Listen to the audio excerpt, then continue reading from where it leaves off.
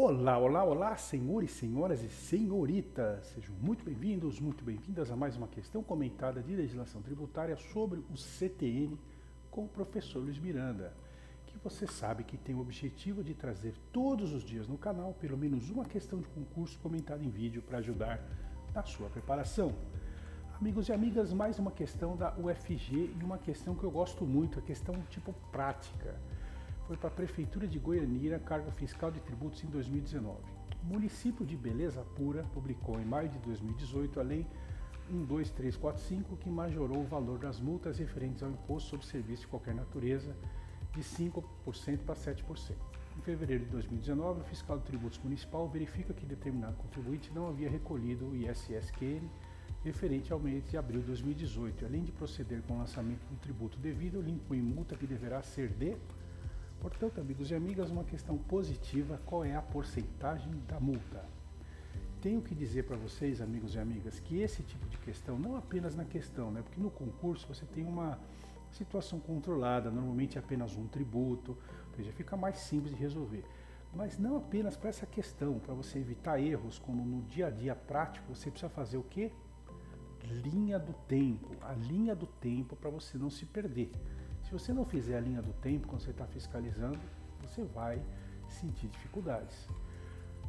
O que, que diz a nossa linha do tempo? Que abril de 2018 houve a falta de recolhimento do ISSQN, a multa naquela época era de 5%.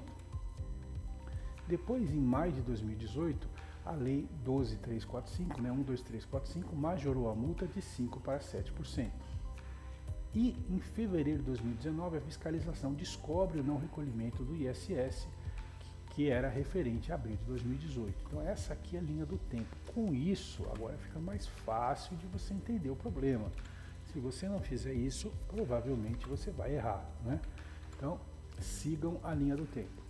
Agora, o nosso querido CTN. O que, que ele diz no artigo 144?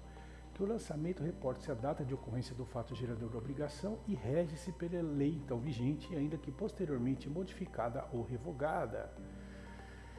Beleza? Aí tem o parágrafo primeiro e o parágrafo segundo que diz que aplica-se ao lançamento da legislação que posteriormente à ocorrência do fato gerador tem instituído novos critérios de apuração, processo de fiscalização, ampliado os poderes de investigação das autoridades ou otorgado ao crédito maiores garantias ou privilégios, exceto nesse último caso para o efeito de atribuir responsabilidade tributária a terceiros.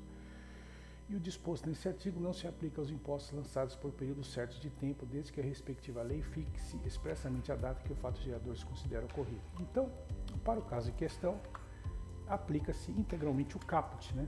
reporte-se a data de ocorrência do fato gerador. Agora, com essa informação, vamos, vamos aí anotar, fazer observações na nossa linha do tempo. Então, em abril de 2018, né, que a, a lei né, de então dizia que a multa é de 5%.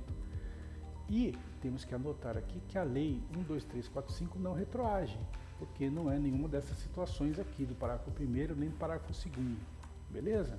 Então, em resumo, você vai cobrar 5% em razão do princípio da irretroatividade tributária, gabarito letra B de bola.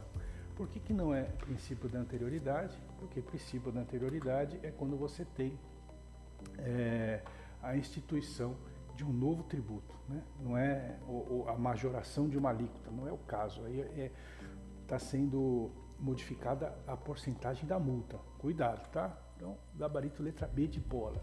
Espero que vocês tenham entendido e acertado. Se ficou qualquer dúvida, mande o seu comentário. O meu nome é Luiz Miranda, meu compromisso é trazer todos os dias no canal pelo menos uma questão de concurso comentada em vídeo para ajudar na sua preparação. Grande abraço, até o nosso próximo vídeo. Valeu!